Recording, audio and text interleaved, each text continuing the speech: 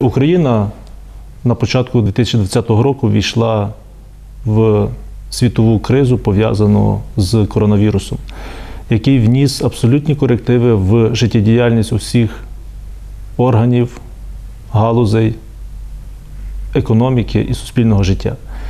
Це дуже тісно і вважаю боляче вдарило по освітньому процесу.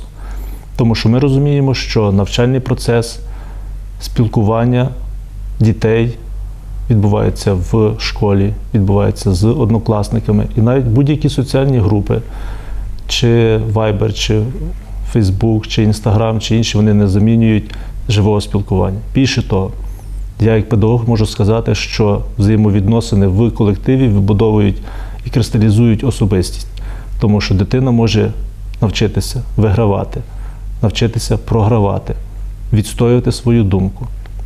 Дистанційне навчання цього не дає. І якщо нам анонсують, що з 1 вересня Україна також буде проводити навчання в дистанційній формі, ми втратимо покоління.